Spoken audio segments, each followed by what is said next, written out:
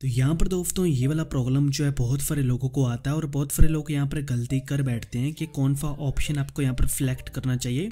Not allow पर click करना चाहिए या फिर अलाउ पर क्लिक करना चाहिए। तो यहाँ पर मैं आपको पूरा प्रैक्टिकल करके दिखाने वाला हूँ कि ये फीचर क्या है और आपको कौन सा ऑप्शन सेलेक्ट करना चाहिए। तो अगर आपके पास भी ये वाला ऑप्शन आ रहा है और आपने गलती से यहाँ पर अलाउ बटन पर क्लिक कर दिया है और यहाँ पर नोटिफिकेशन को अलाउ कर दिया है अलाउ करने के बाद देखिए अभी क्या होता है वो मैं आपको बताता हूँ। जैसे एक बार मैं बैक चला जाता हूँ।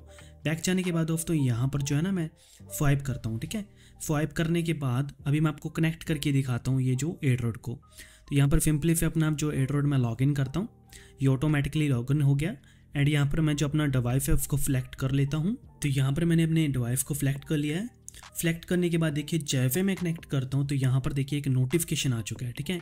तो जब भी कोई एक्टिविटी होगी तो यहाँ पर एक नोटिफिकेशन दिखाई देगा, जब भी आप वहाँ पर अलाउ करोगे, ठीक है? तो फिर फ्लूशन मैं आपको बताता हूँ। फ्लूशन के लिए दोस्तों, आपको क्या करना है अभी? यहाँ पर टैप करके रखना है। टैप एंड होल्ड करके रखना है। उसके बाद आपको मोर फैटिंग के ऊपर क्लिक करना है, ठीक है?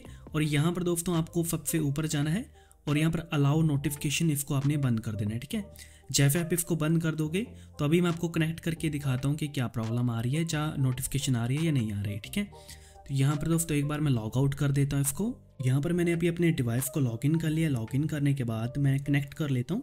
तो जब भी अब मैं कनेक्ट करूँगा तो यहाँ पर कोई भी नोटिफिकेशन नहीं जाएगा, ठीक है? तो नोटिफिकेशन को अपने सही तरफ़ से बंद करना है, जैसे कि मैंने आप लोगों को बोला है। अगर आपको नोटिफिकेशन को गलत तरफ़ से बंद कर देते हो तो आपका एड्रॉड काम नहीं करेगा और आपको बहुत सारे प्रॉब्लम्स यहाँ पर देखने को मिलेंगी। और यहाँ पर मैंने पूरा एक कोर्स भी बना रखे हैं।